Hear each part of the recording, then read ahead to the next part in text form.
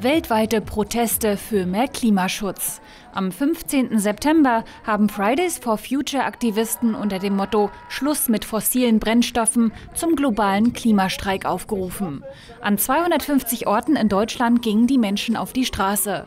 In Mecklenburg-Vorpommern wurde in sechs Städten gestreikt.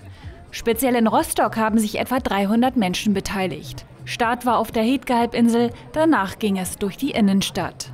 Rostock for Future protestierte unter anderem gegen den geplanten Hafenausbau von Rostock Port. Bei dieser Hafenerweiterung soll möglichst viel Kalkkante erschlossen werden. Das heißt, unter anderem werden die, die Gebiete um die Ollendorfer Tannen und das Moor um den Pizzabach sollen mit erschlossen werden. Ähm, die Idee beim Pizzabach war, das über zu betonieren.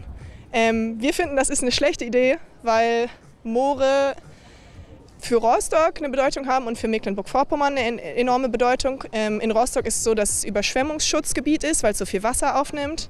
Es kühlt, ähm, hat enorme Biodiversität, die nur an ganz paar anderen Orten in Deutschland so vorhanden ist.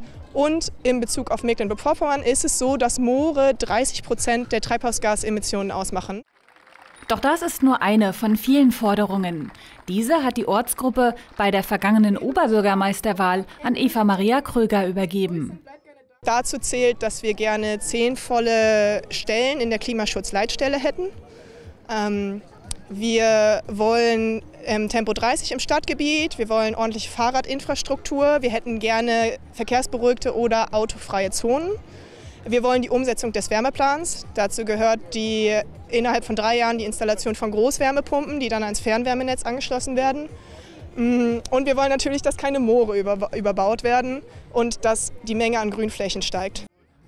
Die etwa 40 Rostock for Future Mitglieder leisten auch Lobbyarbeit. Sie bringen ihre Ideen Fraktionen und kommunalen Unternehmen näher. Als nächstes sind sie am 17. September beim Klimaaktionstag in der Langen Straße unterwegs. Am 10. Oktober machen sie auf dem Campustag der Universität Rostock als Students for Future Hochschulgruppe auf ihre Arbeit aufmerksam.